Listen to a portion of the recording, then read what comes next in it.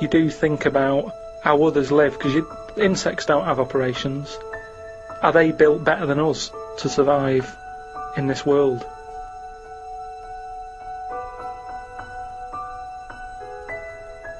Mates and that who I know now are always saying, "Oh, you know, Karl, you, you know, you're stupid and stuff. You don't know enough." Genius Karl Pilkington, as Heat magazine said. He's a he's a different sort of genius to. I mean, I don't wish to be disrespectful. He doesn't look like a genius.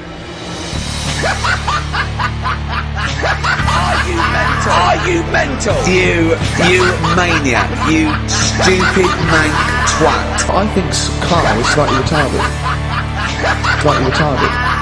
Are you mental? Slightly retarded. You, Slightly you retarded. maniac. You stupid mank twat. Twat. Maniac. Slightly retarded. He doesn't look like a genius. Are you mental? Oh, I'm fed up.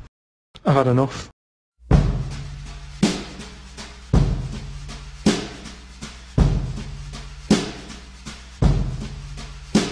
It had something to do with the rain. Sorry, you just went from a job, right, where you were the head of production at a radio station, dare I say it, on eh, a lot of money, to walking dogs and doing a paper round. I, I don't know. No, but it's about being happy, isn't it? Singing the sound that you found for me.